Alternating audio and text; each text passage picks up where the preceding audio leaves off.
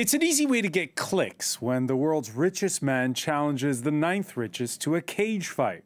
It's actually win win if the owner of Twitter and the founder of Facebook have us debating whether we're Team Musk or Team Zuckerberg instead of the outsized power the pair enjoy thanks to the concentration of popular, mostly unregulated social media platforms in the hands of a few. Yes, we'll ask about Zuckerberg's Thursday launch of a microblogging site to rival Twitter and about the delayed rollout here in Europe, where the courts Tuesday struck a blow to parent company Meta's monetization of users' personal data. Can it be a global conversation if it's different rules in different parts? What sets Threads, as it's called, apart from other attempts to dethrone Twitter? And more broadly, how to build better social media in an age where the pressure to perform and the ability to spread disinformation at the speed of light have upended the very essence of how we see ourselves as human beings. Today in the France 24 debate, we're looking at a clash of tech titans. Joining us, he's a global ethics lead on generative AI products at Meta. Hubert Etienne, also professor at the prestigious HEC Business School here in Paris. How are you? Hi, great, thank you. Uh, welcome back as well to uh, tech entrepreneur and internet governance analyst uh, Leila Morsch. Welcome back. Thank you so much for the invitation. And from Nashville, Tennessee, Jacob Mchangama, Executive Director of the Future of Free Speech Project. Welcome to the show. Thank you so much. The France 24 debate, where you can join the conversation you have on Facebook and Twitter, hashtag F24debate. The timing couldn't have been better for Meta launching their microblogging site the same week that Twitter got bogged down in a new snafu, what with the temporary limitation of messages users can read. James Mulholland has more. The countdown is on to the latest Twitter rival, Threads. Facebook owner Meta is expected to launch its new text based conversation app on Thursday. It's to be linked to Instagram, which could give it a huge advantage with its hordes of users.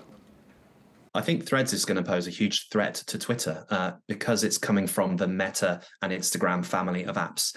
Instagram has 2 billion users compared to around 250 million uh, of Twitter. So it's about 10 times bigger already. The launch of Threads comes as Twitter CEO Elon Musk has pushed users to sign up for paid subscriptions, with moves like limiting free users' views to just 1,000 tweets, around five minutes of scrolling per day. It's the latest in a string of moves that's driven people to join rival platforms such as Bluesky and Mastodon, and this could be another headache for Musk. I think that the, key for this for Meta will be that it gets as many people on as quickly as possible. It makes it as accessible as possible. It has content creators and, and content that appeals to a broad mainstream audience and that brands feel that it's a safe space for them to carry on maybe what they've been trying to do and what they've been able to do up until recently on Twitter. Threads is the latest in the rivalry between Meta boss Mark Zuckerberg and Elon Musk, who recently agreed to fight each other in a cage match. Uh, Hubert Etienne, uh, your, your thoughts on uh, we're on the eve of this launch. Is this going to knock Twitter off its perch? Um, that's a good question.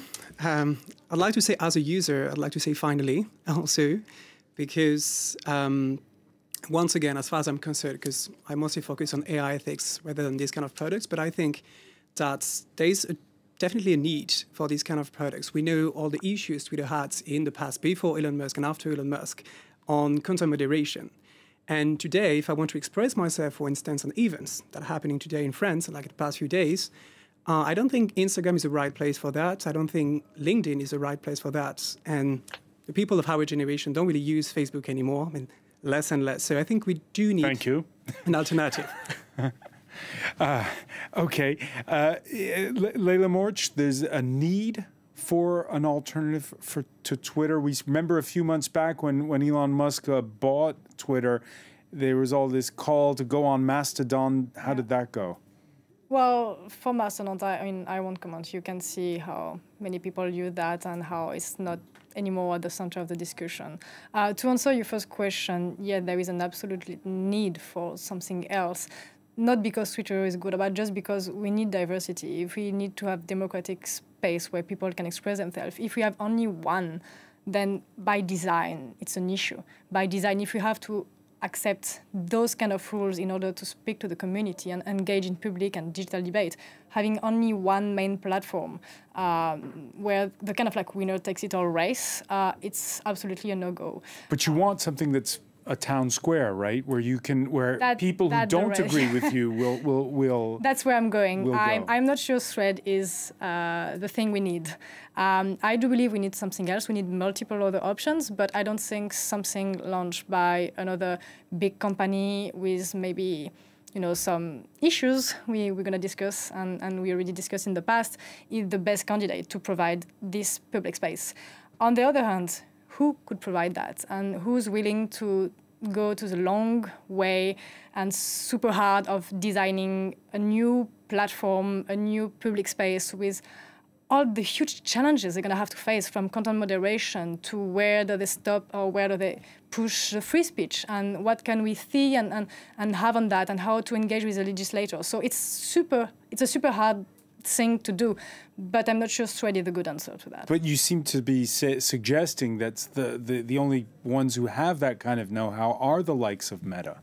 Well, in a way, yes, because legislator and the society and themselves organize the way the, the world in a way that they are the only one because they have so much power, financial power, uh, so much lobby in the different institutions. All the other actors are too small, and the society as well as public services are not pushing for them to grow. So in a way, they are in a winner-take-it-all race, and they are super, super far behind, and they are the only one having this power because there is no counterbalance uh, that could that could raise. And I can I can and maybe we'll talk about that a bit later. But I'm I'm working with a new social media emerging, trying to build something completely different with a new governance, a new business model. But they have a hard time growing because to find funding and to find help and to find support for the legislator when you are small in the social media space, it's super complicated. And this is what we should be working on instead of just complaining. Uh, Jacob uh, Mchangama, uh, the France 24 debate is on Twitter. Uh, we like the fact that we are trying to reach out to people who have differing points of views who best to uh, host and moderate uh, the, the, the, that town square discussion that we're all searching for?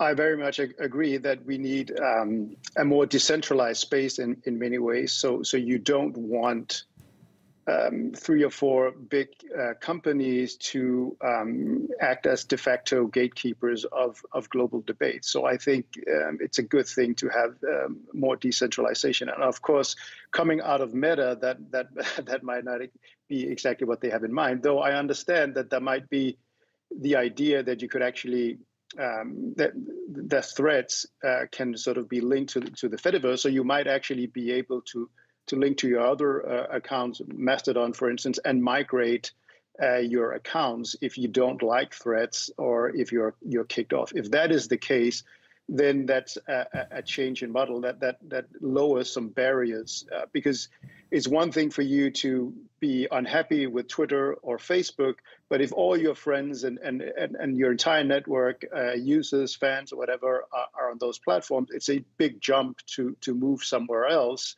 um, if you can't convince everyone uh, else. Um, so, so if if those features are built in, I think that's a step forward from um, a, a, a, big company uh, like Meta. But I, at at the end of the day, of course, it all depends on you know the uh, the the design, uh, how it will work uh, in practice. It's very easy to have great ideals. You know, um, Elon Musk was some was someone who had built some very successful, cutting edge uh, companies in a number of different uh, industries.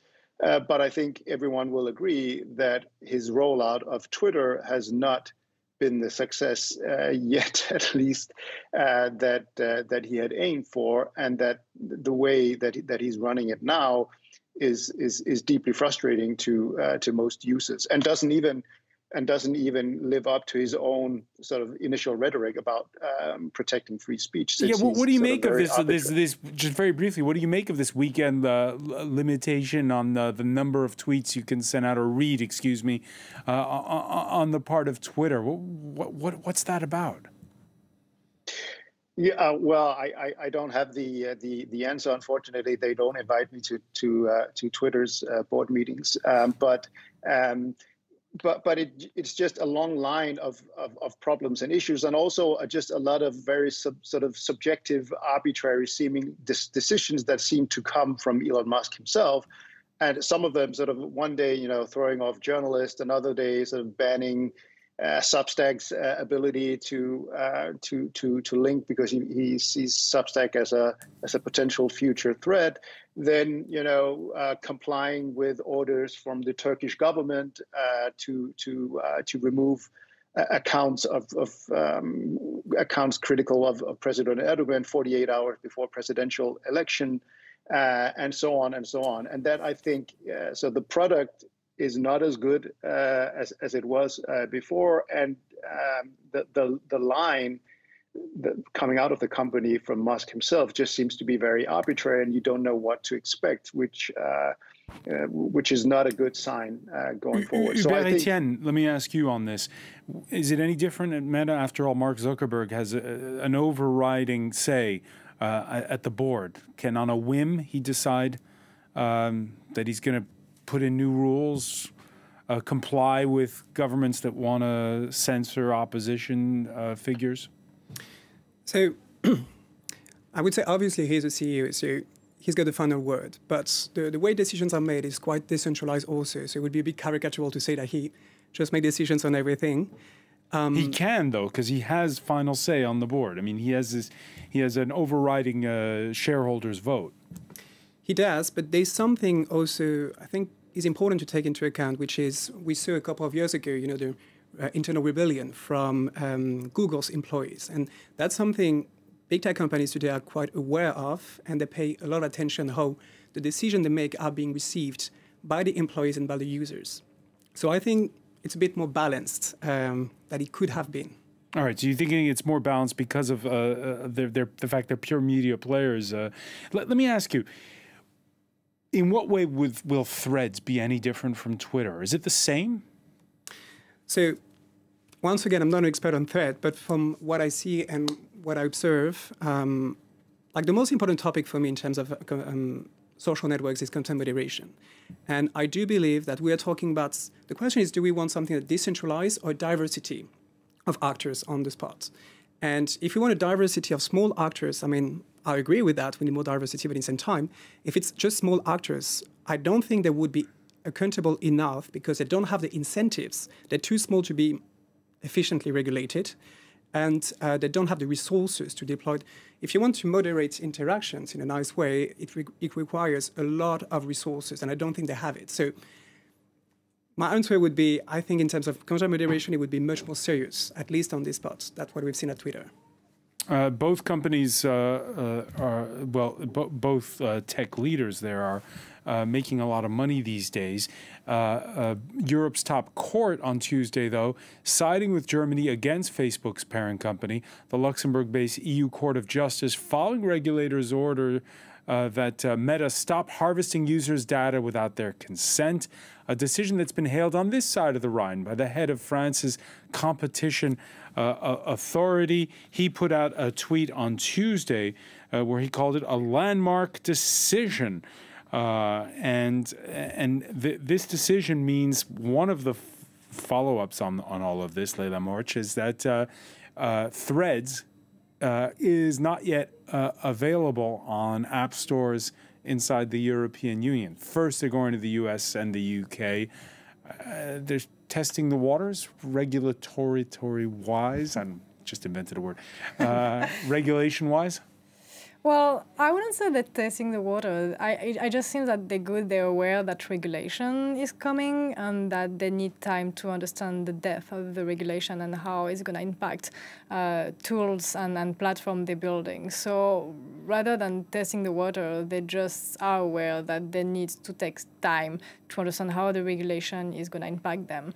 Uh, I think it's it's it's pretty pretty good signal. I mean, what's what the price of waiting a few more weeks or months if it uh, let European people and, and citizens see how the app is deployed, what are the first cases, and how when it's deployed in Europe, um, it's gonna be more mature in a way, maybe just by a few weeks, but it could already uh, be more uh, designed so it can protect uh, better citizens. On the other hand, though, uh, it means that at the beginning, other people in the world will be exposed to to to the potential um, harms that threads could could pose. And but the question is not just about the harms. It's the question is much broader than just will there be online hate speech or not. You know, social media raises much more question than just online hate speech.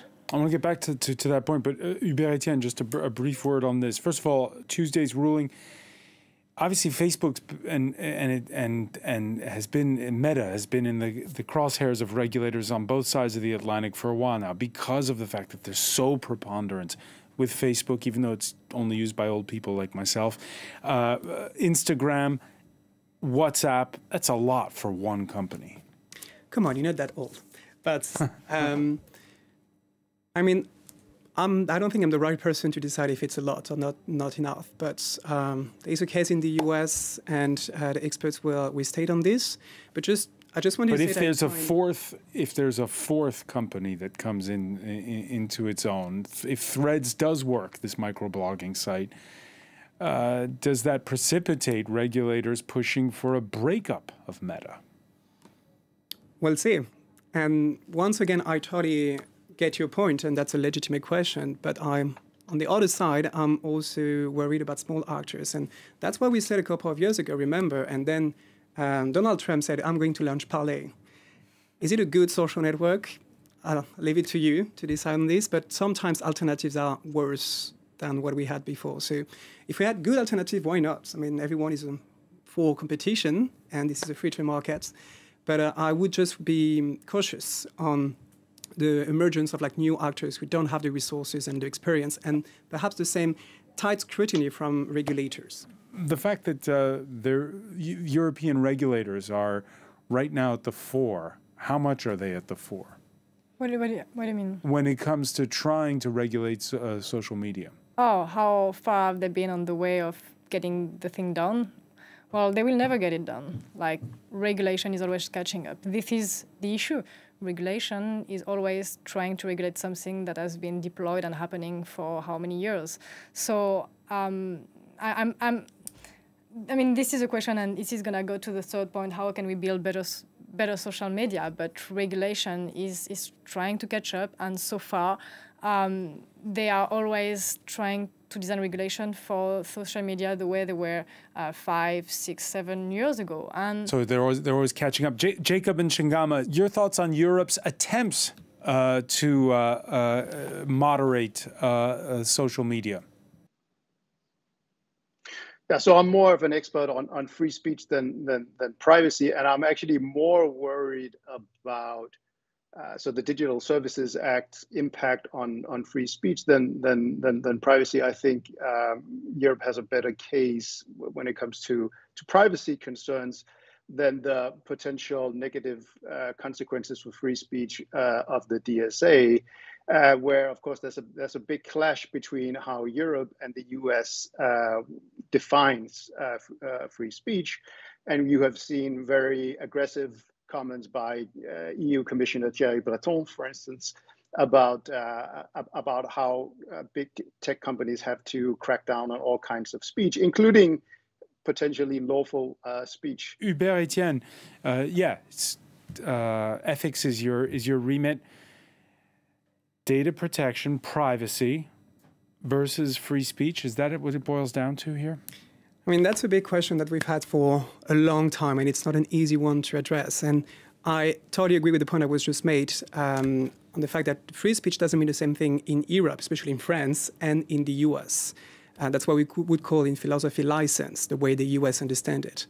But just to react to the point you were making before on like why is it not uh, in, in Europe yet? And I think um, I agree with Leila on the fact that that's how innovation is made today. If you look at OpenAI, everybody follow the same process, which is you start with fish fooding, dog fooding, beta testing, and then you enlarge and iterate on the products.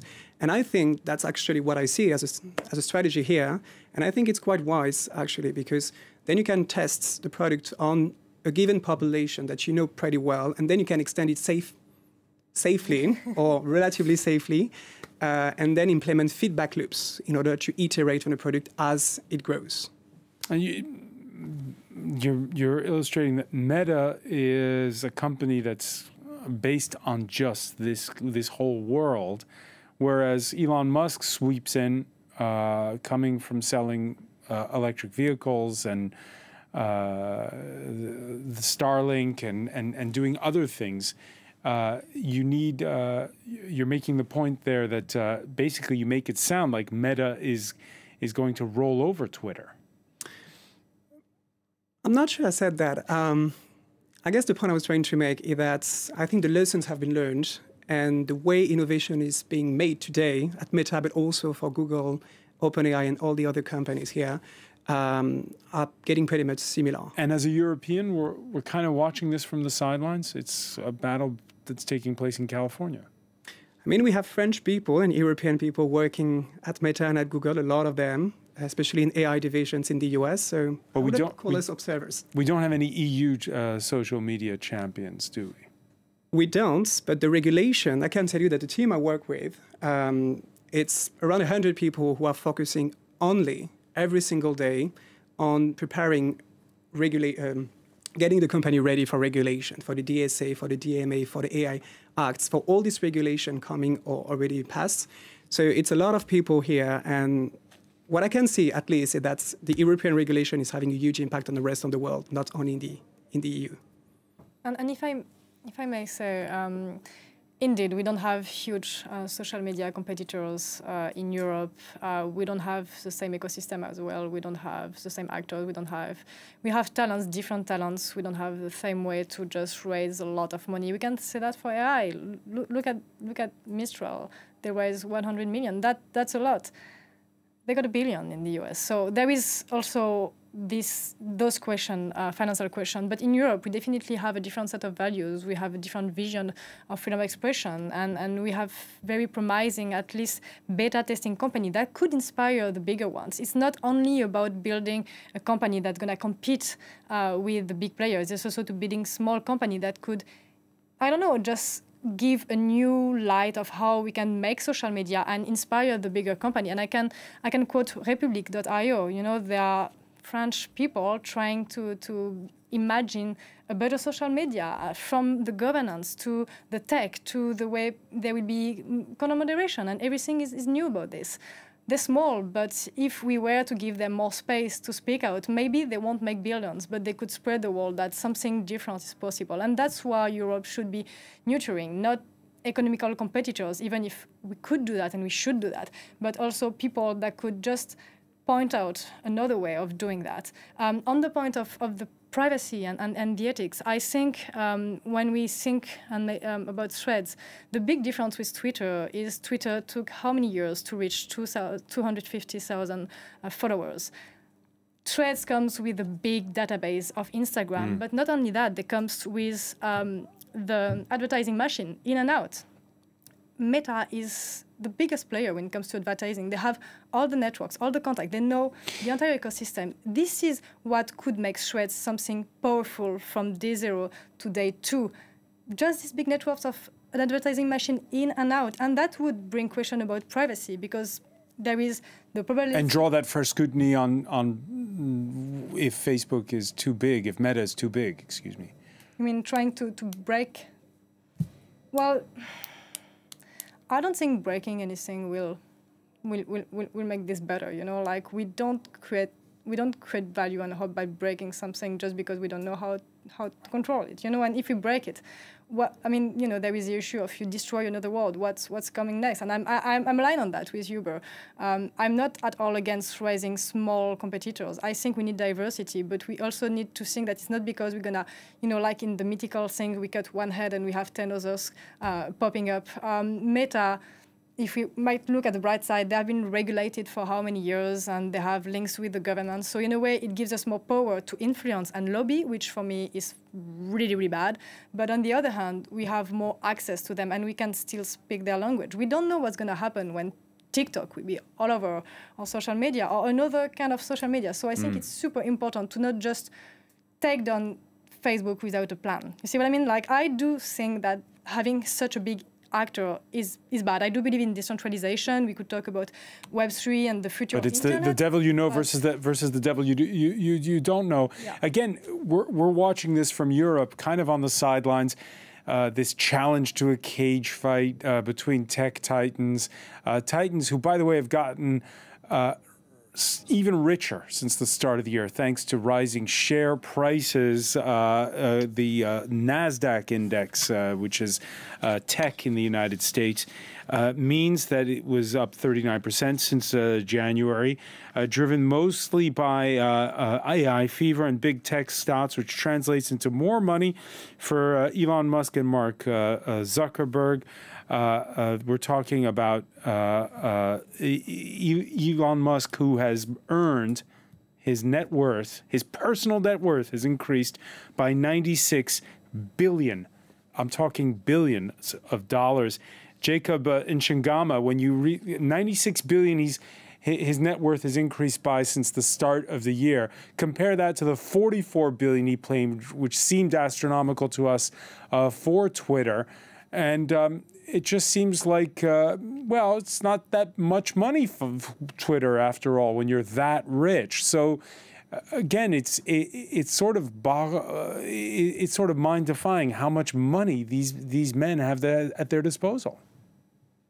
Yeah, to be fair, I don't think uh, Twitter has contributed to Elon Musk's uh, wealth uh, quite quite quite the the the opposite. But I think you know, look, this this raises two uh, issues. Um, so before I, I, we had technical issues, uh, transatlantic uh, disruptions.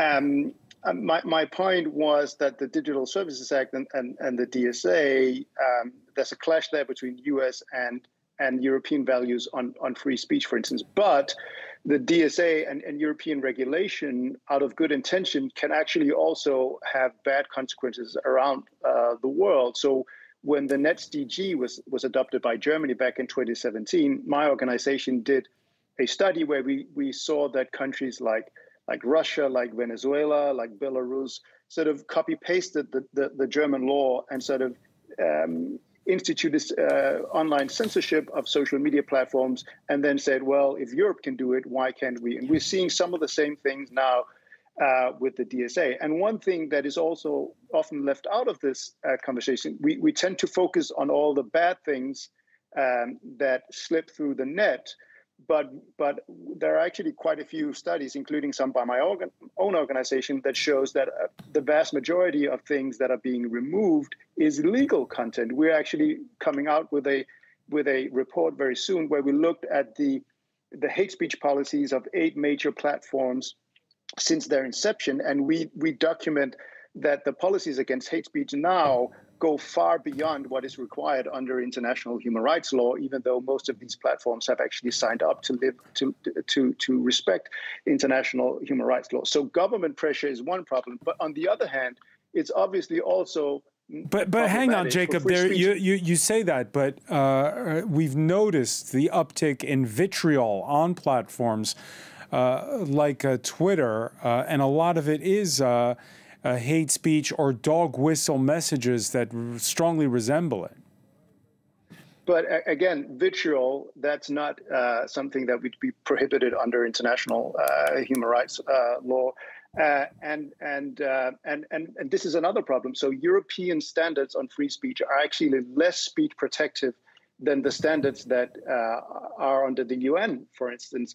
And so, should should should lower should standards that provide less protection for free speech be, um, you know, conform to to European regional standards, knowing full well that these may actually end up hurting minorities in authoritarian states, uh, because big tech platforms have a strong incentive to comply with European laws, both because of the size of the European market, but also because the regulatory powers of the EU are so strong, and that you know it sends a, a, a good signal for these platforms to say, well, you know, we're going to conform to European standards because it's a block of democracies, and then you know it's it's more difficult to to criticize it. But um, so what I'm saying is that this has a lot of downstream effects, and you will actually see a lot of people, you know, in in you know dissidents and others in authoritarian states who are worried about uh, this uh, development. All right. How do you, on the one hand, uh, defend free speech. On the other hand, stop disinformation.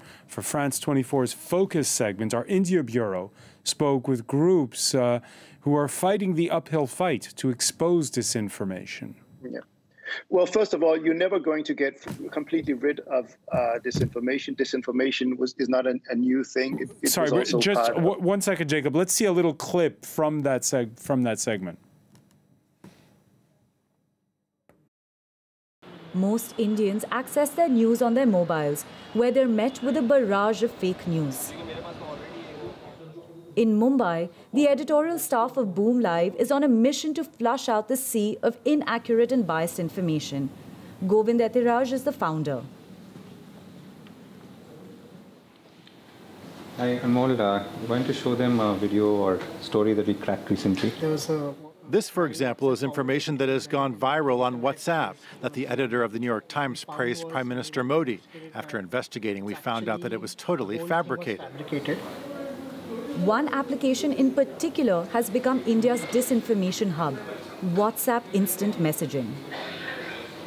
In India, the smartphone equals internet equals WhatsApp. It's scary because, as we know, WhatsApp is an end-to-end encrypted platform. You know, no, if I send you something or we share in a group, no one else can see what's going on. Uh, what is the kind of misinformation that's spreading, the velocity at which it's spreading, and the damage that it's doing. According to an international audit firm, the number of smartphone users in India is expected to reach 1 billion by 2026. Uh, Hubert Etienne, this was the big concern, WhatsApp, during the last election cycle in India. Uh, Narendra Modi's up for re-election next year, and it's still the big concern. What's changed? Um, just to react on, on the points about end-to-end encryption, um, personally, I think it's a great thing, but I see all the tensions you may have here. And it's always the same tension between free speech and safety, between uh, privacy and, um, and the possibility also for governments to exercise some surveillance on, on citizens. And I remember when it was, I think, three, four years ago, when we started working on this, we expected people to be quite happy with that and to end encryption. Finally, you have like very safe uh, interactions that belongs to you and nobody can access. And the people who were raising alarms at that time were um, um, the Australian government and the US government because they couldn't access anymore the back doors they used to have to operate some surveillance on, on specific people. So here again, it's a philosophical question, uh, but I'm personally. I but if they need to do surveillance, they go see a judge and get a warrant. I would say so. I'm not an enough of an expert to mm. answer this question, uh, but from what I understood, it was not always the case in, in, the past. But once again, I'm not an expert on the question, so this is only my understanding of the situation. Leila, Leila Morch. Yeah, I think on that side, and it's kind of like the global theme of this entire discussion. Um, to a certain extent, it's not really a discussion about social media. It's a discussion about what are the rules that govern your society. You see what I mean? Like, I think what Hubert is pointing out is safety versus, you know, like privacy versus um, having something free or paying for that. And if you have those two questions, is it for everyone or is it for an elite? Okay, but let's bring it back then to the, the to the but, question that we wanted to pose at the beginning. How do you build a better microblogging site, exactly. a better Twitter? Exactly. This is where, I mean, for me, this is a core question. How do you do that? Um, for me, there is, I would say, I'm going to make a list of kind of like things we should change or think about. The first is engagement. How do we engage people on the platform? And we need for me to redesign absolutely what we think behind engagement. I could come back on that topic, but for me, engagement means how you solicit people to react yeah, to your post. Exactly, and and what's your model to keep them on the platform and, and all of that. And I think if we don't redesign that, we could like drive humanity to a complete disaster. Then we have the question of the economical model. We have the question of the regulation, the question of the governance of the platform, which is for me one of the most important important one. We have the new challenges that are going to raise identity with generated AI and how can we prove people are actually real human. We're going to have traceability of the messages. We have the centralization of the decision-making process. Then we have the question of the impact on society. We have the question of the privacy. We have the question of activation empowerment. And I would like to finish by this one, because how do you design a social media that's better? By thinking long term. And this is for me where social media didn't do a great job, where regulation regulation is not doing a great job. And this is the thing with DSA. I mean, of course, it's good that they started to think about those kind of regulation, but on the long this term, this is the U.S. regulation. Yeah, exactly. No, no, DSA is the European Union. DSA, excuse me, the European. Yeah. Um, what, what, what's the impact on the long term of removing bad content and, and trying to take down disinformation? Of course, we need to do that, but at the end of the road, we don't remove bad content from the real world. You know, it's it's it's still cosmetic. It's important because online is deforming reality, but it's still cosmetic. So at the end of the road, the question is the empowerment of the users. And social media, better social media, should be more designed to activate the user rather than making him a spectator of what he receives. And today, social media are all about pushing, pushing, pushing content to people. They're not about making them pulling specific content. And this is how it's designed because this is the economical model, this is the attention economy, this is all of that. For me, designing new social media is how do we want the human species as a society to evolve? How do we want to use the bias of the brain to make more money? Or do we want to take into account the bias of the brain to make society you know, better? And this is a huge question and not an easy one. But if we don't go in that direction, it will be cosmetic, short term, and we will be facing raising and bigger challenges with time going. Uh, Jacob Mchangama, all social media, and we can list all those that are known, there's a lot of them. Uh, they have the same business model, which is they want to keep you in front of their screen for as long as possible. What you're hearing there from Leila is is uh, calling that into question. Do you agree? I think there are definitely um, things to, you know, I'd like to see much more experiment, experimentation on the business model size. But I think we also need to understand that, you know, human psychology uh, comes into play here. So it's basically, it's, it's at scale the same as, you know, if you are a, a tabloid newspaper, you choose the most um, the, the, most uh, alarmist headline, and that is likely to get uh, more people to subscribe or buy your newspaper than uh, than a more boring one. Or if you're a France uh, France 24, you maybe choose the most uh, dramatic pictures. Uh, as a hook rather than, than than something more more more boring. So that is not a new phenomenon, but but it, at scale, it's obviously something that where, where we see ramifications that we hadn't thought through. So I think it's it's important to experiment on on on the uh, on, on on the business and and design side. But I just want to warn again that I don't think we're likely to get sort of uh, agreement on this. And we mentioned India as an example where, where fake news is running rampant. And then one one one answer is to say, well, the government should uh, should regulate this. But um, but but unfortunately, India is a even though it's the world's largest democracy, it's also one that is increasingly cracking down on free speech, not only online but also for journalists, and it is increasingly putting pressure on the platforms to remove content that is perfectly legal but that uh, that it does not like, and it uses uh, you know disinformation, hate speech, and so on as excuses to try and limit. Those, so, so uh, Jacob, is there voices. a way to build a microblogging site that is I more think, effective? I think, I, I think that some of the things that we need to work on is trust. I think you know polarization, hate speech, and disinformation are much more likely to have uh, to, to be attractive to gain traction go, go viral when there's a low degree of trust. Uh, so we, for instance, uh, are experiencing with toolkits that will empower users to counter hate speech, for instance, rather than rely on governments or centralized platforms. The same with uh, with with the same uh, with disinformation. So if we can um, foster intellectual humility into a, to a larger degree among users so that they are less likely to fall for disinformation and less likely to, to, to share it. I think that is a, an organic bottom up approach that is much more promising than governments uh, adopting sort of sweeping laws and, and putting a lot of power on big centralized tech platforms um, with massive collateral damage for people around the world. But I don't think there's a perfect solution, and, and I think we have to get used to that. Hubert Etienne, these tech giants, they're not charities. They're trying to make money.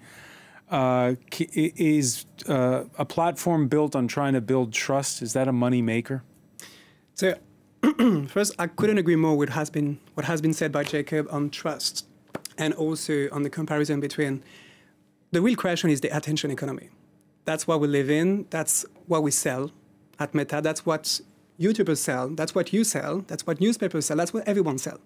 And the question is, do we can we change that? Because I'm happy as an ethicist to change the whole platform to direct it entirely to ethics and pacify the world with a lot of nudges. And if I were, uh, if it was my, my choice, I would do that. And probably what would happen first, it would be a disaster. Because you try to nudge people because you think you're doing the right thing, but we're not God. So, no, you do something bad in the end. Second point, the company would probably go bankrupt by in two or three months. So we need to find something that is acceptable for people. And we also need to be humble, I think, to know that we don't know exactly what people want. Many things have been tried to say, how do we govern misinformation? How do we inform people about this? And many times um, we thought we had good ideas and users didn't like it. Because when you try to educate them, if I may say, or just like show them different kind of contents, they react badly to that and say, yes, but that's not what I expect. So what works, fear and loathing? Pardon? What works, fear and loathing? Um, I don't know. We're still trying to find the best way, but like, to as far as I'm concerned, I think that the way we manage, we handle misinformation today, or like the process we had and the loop we have for that, is quite mature, and I kind of agree with that because it's not an easy easy one to implement. But I think you know, with like the uh, just informing people, cautious. Uh, this piece of content has been reviewed and was found to be misinformation, or these might be graphic content, but people can still access it. I think this is um, quite a good compromise. Leila Morch?